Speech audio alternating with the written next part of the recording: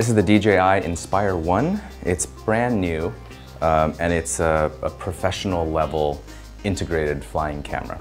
Obviously the industrial design uh, is completely new for this, this class of product. Um, it is a transforming design, which means that these arms come up into a V shape, uh, drops the body and the camera below any of the landing structures, so you have a full 360 degree uh, view from the camera. Um, the camera is also new. It's uh, gimbal stabilized in three axes. It's a 4K camera, uh, which shoots up to 30p in 4K and uh, up to 60p in 1080.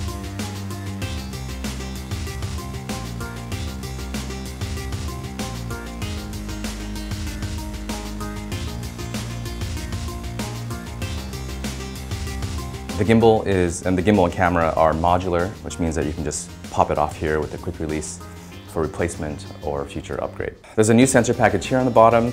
This is our optical flow stabilization uh, system, which includes both ultrasonic, send and receive, and uh, an optical flow camera. And what that does is essentially allow the Inspire 1 to stabilize itself even without GPS positioning.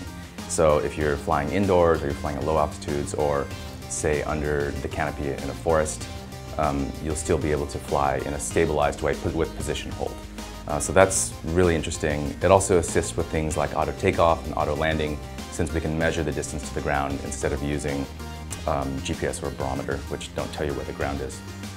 The propulsion system is also completely new for us. Um, it's much more powerful. It uses this uh, six cell battery, this 22 volt battery, um, which is pretty beefy.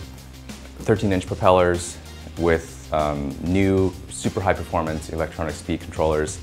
Um, one of the big differences that our early pilots have noted is that if you're flying along at speed and you let go of the sticks, uh, which will make it try to hold position, it will just basically stop in place.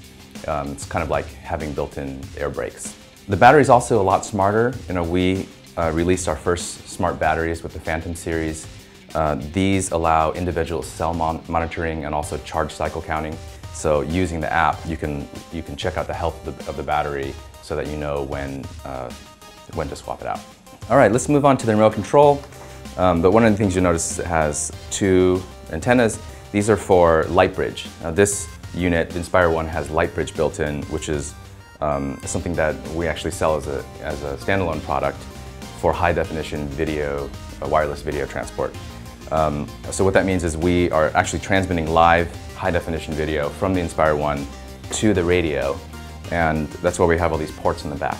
So we have a, a USB port for connection to a smart device, um, iPad, iPhone or Android device and we also have an HDMI output which is a mini HDMI out um, so you can attach any field monitor um, and uh, either for, for just for viewing or for recording. Uh, there are a couple other ports. One's a proprietary uh, expansion port and the other is a um, micro USB port for upgrades. There are also a bunch of buttons and dials on here. Um, these are a little bit of a departure from the traditional uh, RC controllers you see with, with all the switches. Um, we have buttons to start and stop video, to take a picture, uh, to play back the last picture uh, you've taken. Um, this is a rocker for gimbal control, for pitch control. And this is a dial and a button uh, for uh, camera settings. So you can change exposure, you can change ISO, and you can change shutter speed uh, in full manual um, by toggling and, uh, and turning this dial. So you can be pretty much hands-on the, the radio while flying and taking pictures. We also support dual operator control. Uh, this is something that's used um, pretty much, it's very common in the high-end um, any kind of production, you're going to have a pilot and a dedicated camera operator. So with a second radio, a second remote control, uh, which is identical, um, you can control, have one person controlling just the camera and gimbal. And that includes the full, full movement of the camera and gimbal, as well as all of these controls for, for camera settings and taking pictures. And, um, and the pilot can focus on, on flying.